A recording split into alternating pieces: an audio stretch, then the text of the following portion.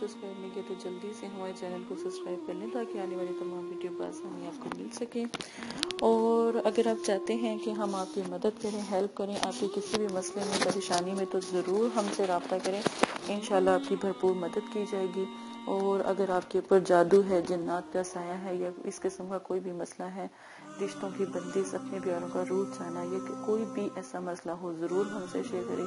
انشاءاللہ آپ کی یہ بہن آپ کا بھرپور ساتھ بھی دے گی اور آپ کو سیدھا راستہ جو ہے وہ بھی بتائے گی اور ساتھ میں جو اللہ کا کلام ہے اس سے مدد لینا وہ طریقہ بھی آپ کو بتایا جائے گا، انشاءاللہ ضرور آپ کیجیے گا۔ آج کے بہت پیارے وظیفے کی طرف چلتے ہیں۔ یہ ایک ایسا وظیفہ ہے جو آپ کو پہلے کبھی کسی نے نہیں بتایا ہوگا، ٹھیک ہے؟ یہ وظیفہ ہم کر کس لیے سکتے ہیں؟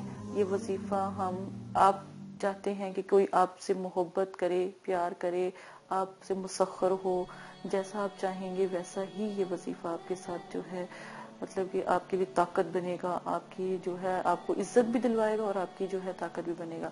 اور شوہر، ساس، سسر ایون ہر کوئی مطلب کہ آپ کی عزت بھی کرے گا، چاہت بھی کرے گا۔ بہت آزمودہ یہ وظیفہ ہے۔ میاں بیوی کے لیے بھی یہ وظیفہ بہت زیادہ جو ہے معنی رکھتا ہے، اگر لڑائی جھگڑا ہے، طلاق تک کا مسئلہ ہے تو یہ وظیفہ ضرور کریں۔ آپسی اختلافات جو ان سے ہوتے ہیں تو وہ ختم ہو جاتے ہیں۔ کیونکہ دیکھو، اللہ پاک کو سب سے برا عمل جو ہے وہ طلاق کا لگتا ہے۔ کیونکہ طلاق جو ہوتی ہے یا ناراضگی میں اگر کوئی ایسے میاں بیوی کے ایسا مسئلہ ہوتا ہے تو وہ طلاق تک پہنچ جائے اور اللہ تعالیٰ کو یہ ناپسند ہے، کیونکہ یہ دو خاندان تباہ ہو رہے ہوتے ہیں۔ اور ایون اس میں چھوٹے معصوم بچے اگر ہیں تو وہ بھی ان کی بھی زندگی جو ہے برباد ہو رہی ہوتی ہے تو اس چیز کا بس خیال رکھا جاتا ہے۔ تو کوشش کیا کریں کہ کبھی ایسا نہ ہو۔ سورہ کوسر سورہ کوسر کو آپ نے تین سو تیرہ مرتبہ پڑھنا ہے۔ پیر والے دن پڑھ سکتے ہیں، جمعے والے دن، جمعرات والے دن۔